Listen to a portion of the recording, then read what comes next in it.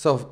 from the social struggle in in Italy uh, and in the transnational space, we have learned how solidarity into austerity and into the crisis we are living is something that not um, have to be uh, giving solidarity to someone, but building together commons, new forms of social relationship, of social struggles into the labor market against precarity, against the, the cuts, cuts of in welfare, healthcare, education, uh, but uh, thinking together and the experiments, experiments that already are existing in Greece, in Spain, also in Italy or in different countries, uh, tell us the possibility to, do uh, this to build new autonomous institution of social uh, cooperation um, and to connect these different experiences on transnational level, inside and beyond the European uh, borders, against the European border, thinking about migration and thinking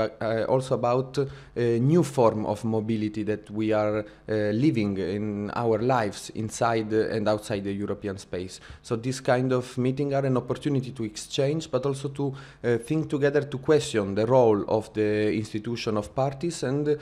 to um, put in uh, to focus on the uh, the challenges that we have together in common and that the social struggles and social movement have to face now.